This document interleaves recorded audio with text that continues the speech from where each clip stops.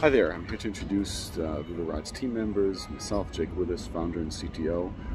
I've um, been running a uh, Way, a job creation and projects company with some amazing tech products in the uh, recruitment and placement space in South Africa.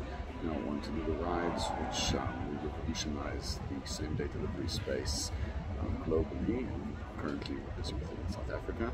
Stefan Swart is our CEO ex-Uber guy, been involved with Uber for quite a number of years as senior operations manager.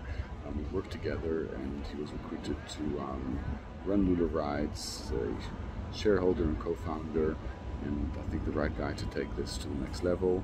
Uh, Michael Freeman, our CFO, has been with me for the last 12 years um, in Lula Way and is now joining us on the journey through the rides. He knows when to pull the reins and when to let Shearer is our um, senior developer and the guy that will be looking after our development team.